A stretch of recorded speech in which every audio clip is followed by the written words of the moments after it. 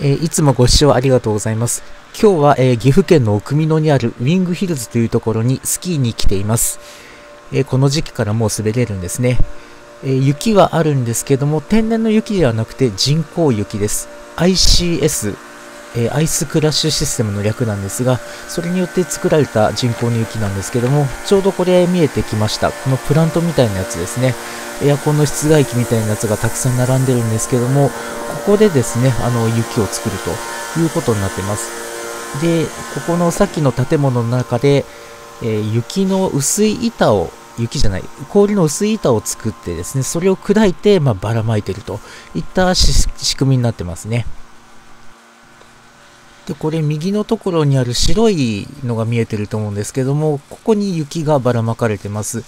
といってもこの白いの全部雪じゃなくて、スノーマットっていうのが引いてあって、まあ、何でしょうかね、ブラシみたいなやつなんですけども、それが引いてあって、その上に雪がばらまいてあるといった風です。で、このスキー場、まあ、この白いところですね、これがだいたい1キロぐらい長さがあるんですけども、さっきのプラントみたいなやつ、合計3つでですね、まあ、雪を作っているということです。で、えーもうすぐすると左側にですね、もう1個プラントが見えてくるんですけども、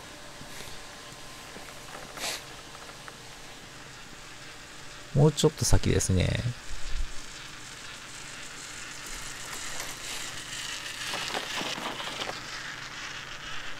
はい、もうすぐです。えー、今、カメラが向いてる方向、建物が見えてきたと思うんですが、これですね。ちょうど真ん中ぐらいに映ってる。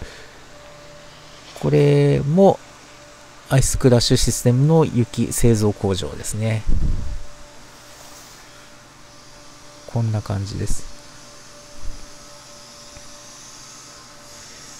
で、ウィングヒルズ、今はさっきの右側に見えてたあの白いコースですね。そこしかオープンしないんですけども、もうちょっと経つとですね、えーもうちょっと上の方から人工雪がつながるという風になってます。上の方にもこう雪を作るさっきのプラントみたいなやつが、えーありますが、この右のコース、この1キロのコースは3つのプラントで雪を作ってます。で、このリフト降り場が見えてきたと思うんですけども、そこの手前にも、えー雪を作るプラントですね。がありますね。エアコンの室外機みたいなやつがあって、そこから管が通ってて、で、この管凍りついてるんですよね。霜がびっしりついてると。で、この四角い箱で雪の板を作って、そこで、雪じゃ、えっ、と、氷の板を作って、えー雪をばらまくという風になってます。で、これ下に見えてるやつ、これスノーマットですね。スノーマットの上に雪をばらまいてるという風ですね。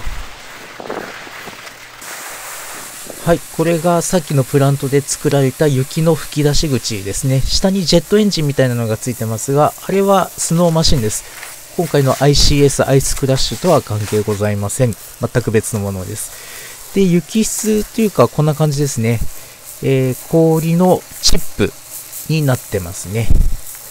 はい。板状に作った氷を砕いて、こういう風にばらまいているという風です。で、これを圧雪車で鳴らすと、ちょうど春先の、えー雪質みたいな感じになるということです。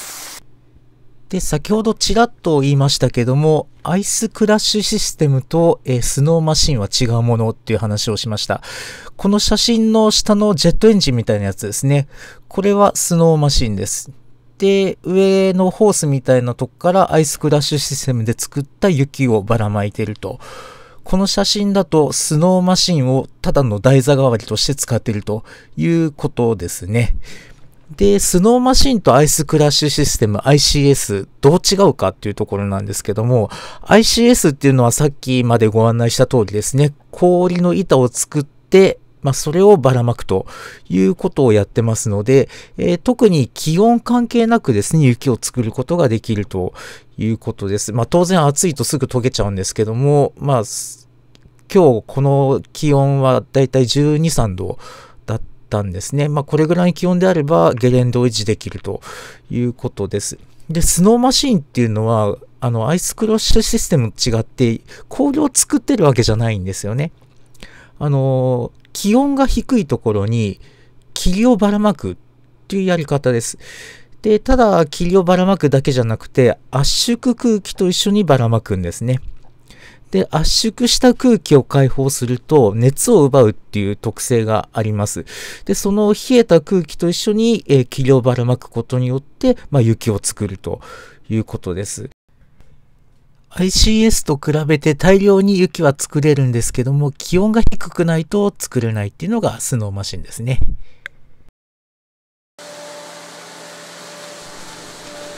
はい。では最後にですね、このコースを滑ってる様子をご覧に入れます。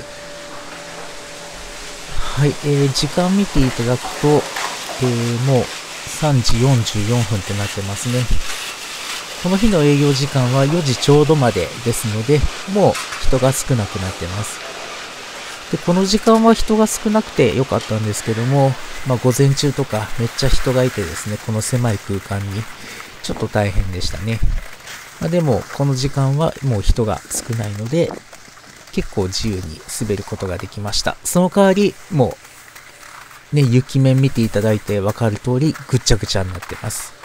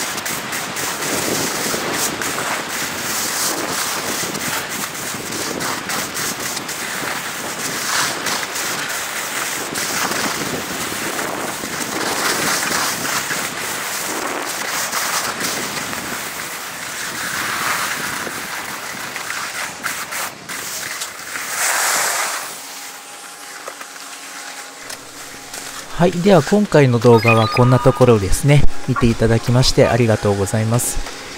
えー、他のですね、スキーの滑走動画の、えー、リンクも、えー、ここに貼っておきますので、またよかったら見てください。では、ご視聴ありがとうございました。